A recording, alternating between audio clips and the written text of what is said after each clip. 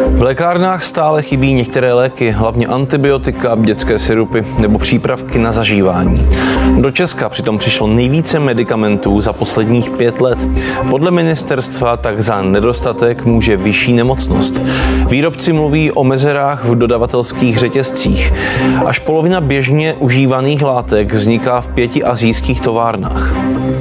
Tady opravdu se několik týdnů, měsíců bavíme o tom, že jsou výpadky léčivých přípravků, ale je fakt ten, že když se podíváme na ta souhrná data, a konkrétně třeba právě v té skupině antibiotik, které se teď nejčastěji vlastně diskutují, o kterých se hovoří a taky je po nich teď obrovská poptávka, tak vlastně hovoříme o tom, že možná spíše se dá říct, že je spotřebováno, než že jsou výpadky.